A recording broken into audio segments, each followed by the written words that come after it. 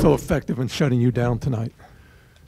Uh, the, you know, number one, they just uh, they play hard, start to finish. They use their speed. They took away time and space, and um, you know, again, scored the first one. You, you got to continue to dig in and work hard, and you know, again, tip your cap. I mean, to me, I, they were the better team tonight.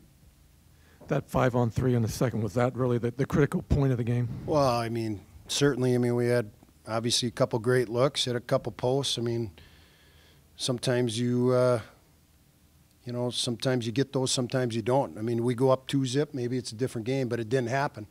So then you got to respond from there. Coach, what?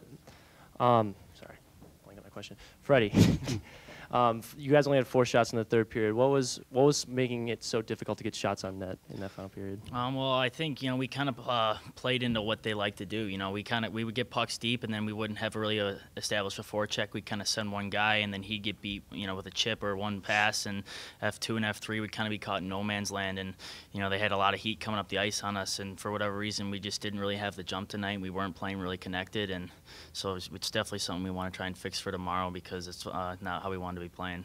What worked so well on that, that goal to start the game? Uh, I mean, it was just kind of a you know good play come up the ice by Dakota and Carson, and you know good pass by Carson to find me on the backside. It just kind of right place, right time, and I had the easy job just to you know tap it in. Coach, because Michigan's been kind of inconsistent all year, was there something like unexpected about how they played today? Was it just anything you saw differently in this team? No, same thing I said uh, the other day to you guys. They're they're a really good hockey team. They got a ton of talent. They play north south. They play with a lot of speed. There's nothing there's nothing that surprised me tonight. Freddy, a big crowd tonight. Uh, It seemed like they were waiting for something that, that cheer about. You Mhm. weren't able to give it to 'em maybe in the latter parts of the game. They didn't seem to get you guys going. This, how frustrating was that, that there wasn't that big, you know, roar out of the crowd tonight? No, I mean it, it, it's it's it's on us really. I mean, uh, anytime you know this was one of the better crowds that I've ever seen since being here. You know, and um, it's unfortunate that we weren't really able to get the job done for them. Uh, I mean, we, the support was awesome. It was great to see the, you know our building packed like it was tonight, and you know, and uh, hopefully you know next time we can get the win for them and get get it done.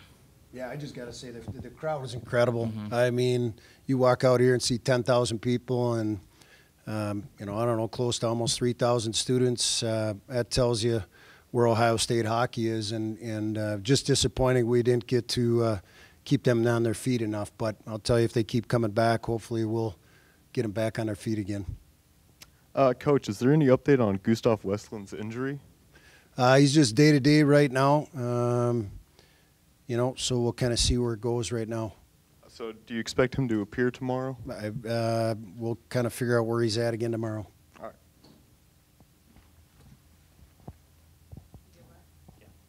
You guys good?